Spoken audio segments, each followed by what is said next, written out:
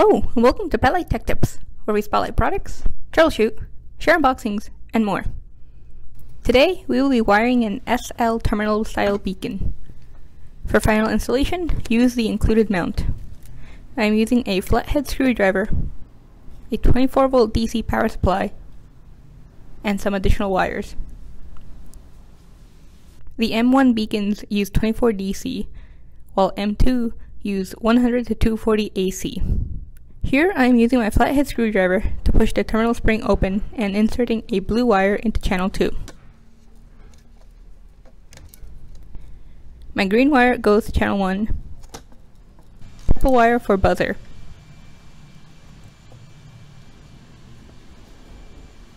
and gray wire into my common terminal.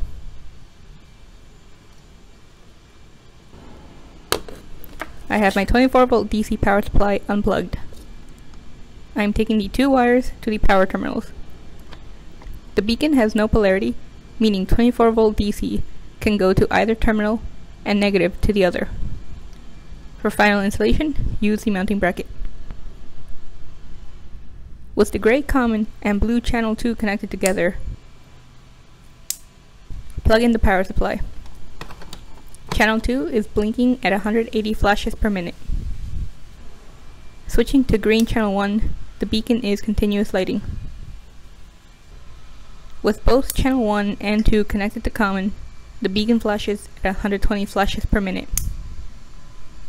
Adding the purple wire activates the buzzer.